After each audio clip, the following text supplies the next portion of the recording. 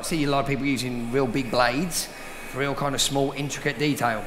And a lot of people are cutting past the knuckle. Now, most hairdressers will not have any tension through that part of their finger. So the reason why you don't need a nine inch blade to cut something that long is because it's a waste of blade. So the reason why you have smaller blades on these is I've got average fingers. Never heard that one before. That's disgusting. Stop it, you dirty bastards. right, so you see how the blade actually goes straight away to my first knuckle?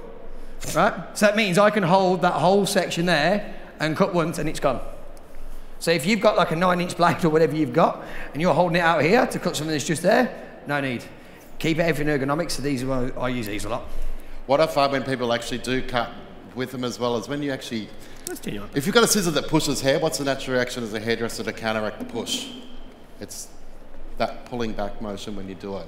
And that's how people will operate with this. So what you do is pull back to stop the push forward.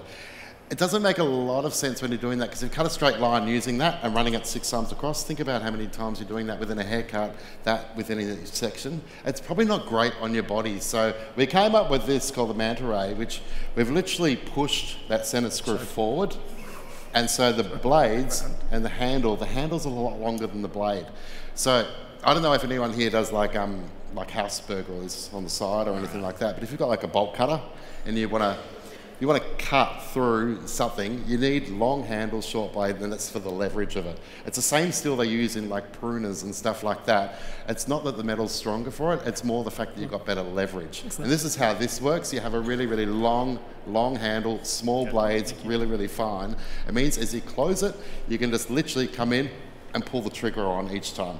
Pulling that trigger on that means you've got one straight line, you're cutting it once, go back. So for me, it's literally pick up, comb, check, cut, bang. Clean every single time.